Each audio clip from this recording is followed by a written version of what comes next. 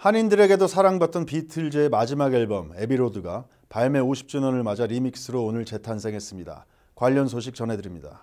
리믹스로 오늘 공개된 앨범 오프닝 트랙은 Come Together로 시작합니다.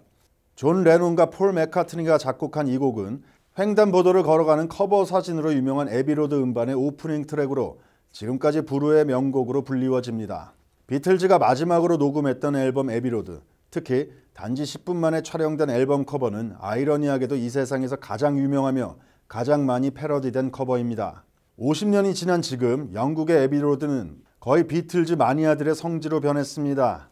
50년 전인 1969년 9월 26일 발매한 비틀즈 애비로드 앨범 50주년 기념을 맞아 오늘 리믹스 음반이 출시된 가운데 50주년 당일날에는 폭스바겐이 애비로드에 주차된 비틀을 배경으로 한 애비로드 리팩 에디션 음반을 선보이는 등 비틀즈의 50주년 기념을 축하했습니다.